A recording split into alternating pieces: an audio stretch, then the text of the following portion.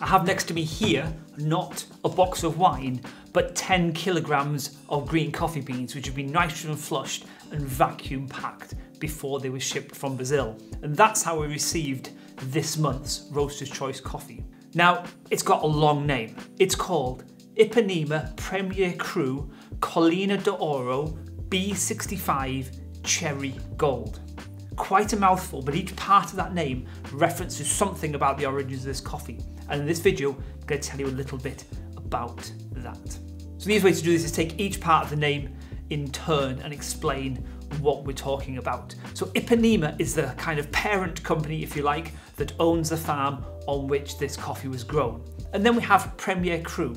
So they have a farm called Rio Verde, and that's based up in Brazil, and they've set aside the kind of high altitude plots on that farm to grow their Premier Cru range of coffee. And these plots vary in size, they've got different soils, they've got different aspects, and they will grow different varietals of coffee on those plots. So what we have here is a specific micro lot from their Premier Cru range.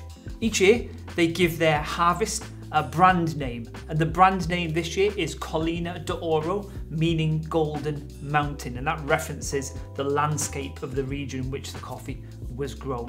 And then we have B65.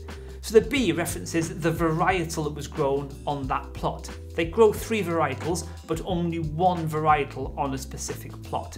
And the B stands for yellow bourbon, and we know that bourbon coffees tend to have a nice sweet flavour profile. The 65 is a reference to the specific plot that this coffee was grown on. And finally, we have cherry gold.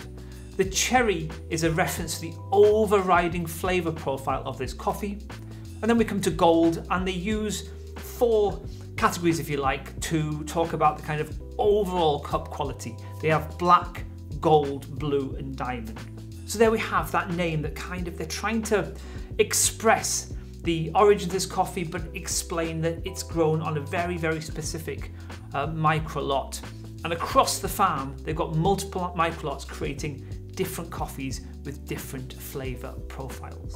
We had to choose this coffee carefully. We were sent multiple samples uh, from the farm. Thing is, we couldn't look at the labels, we had to blind cup them because when you think, th see things like cherry gold on the front, you would be swayed uh, towards various coffees. So the team blind cupped a series or a selection of coffees from the farm, and this one was our overriding favourite. So aside from cherry, what else can you expect in the cup? Now it's a wild fermentation, natural process coffee. So it's been fermented beforehand and it's been dried in the sun. So we are expecting an abundance of fruit, an abundance of sweetness in the cup. You know, that cherry flavour definitely comes through. And I'm thinking more like those uh, cherry sweets used to have um, years ago, like little cherry lips. They've also got a bit of a floral character to it as well. But the one thing we couldn't get away from back at the roastery as a team is that this coffee has a real fruity but also a bit of a zingy character and we just couldn't stop thinking about those starburst sweets. Um, that zing comes from a bit of a lime profile in the cup. It's not like an lime acidity at the start, it's a lime flavour that kind of develops um, from this coffee and you just can't get away from the overriding fruity, zingy kind of character from the coffee. So there we go, this month's Roaster's Choice. We really hope you enjoy it. As always, we love to hear your thoughts, comments, and even questions about this coffee. Thanks for watching and have a great day.